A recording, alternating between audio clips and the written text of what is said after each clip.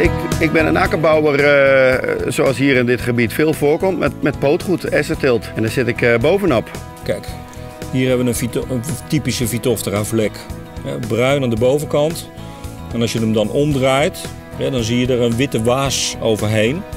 En dat zijn de sporen die aan de onderkant gevormd worden. Dat zijn er miljoenen.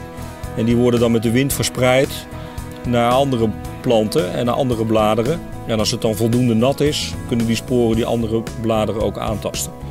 Kost sowieso een enorme opbrengstderving en je kunt je product moeilijker bewaren. Hè, En als de helft van het blad weg is, ja, dan heb je ook je helft van je assimilerend vermogen is weg. Dus gewoon minder kilo's. Maar ook in het veld kunnen die sporen naar de rug spoelen en daar dus de, de knollen aantasten. In een pootgoedgewas is de, de, de tolerantie voor Phytophthora is eigenlijk nul. Als de Phytophthora in je gewas komt, eh, dan ben je te laat met je preventieve bestrijding. Dan moet je teruggrijpen.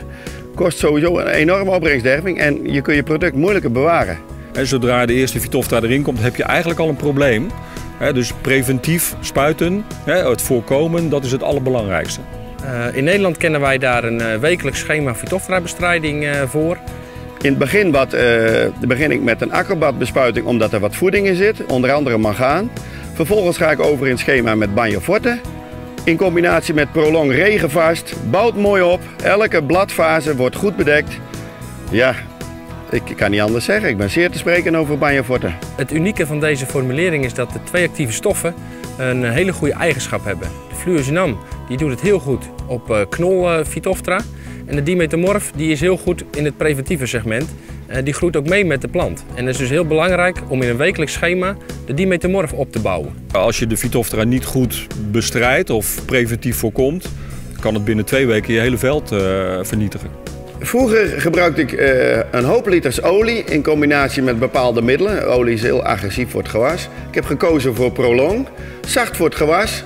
En daarnaast het langere hechten, zodat de Phytophthora-bestrijding van Banjo Forte optimaal benut kan worden. Banjo Forte is eh, regenvast na circa een uur. En dat is heel erg belangrijk eh, bij wisselende weersomstandigheden, waarin buien een enorme rol spelen. In Nederland hebben wij een toelating voor vier keer toepassen. En de dosering per hectare is eh, 1 liter.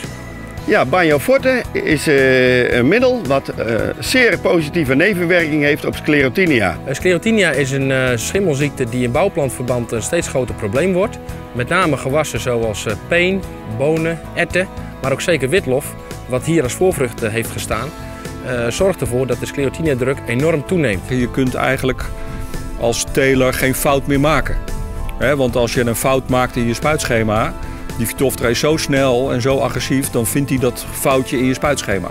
Ik ben eh, dit seizoen ook geen planten tegengekomen met Phytophthora, geen enkele aantasting. Een tevreden boer.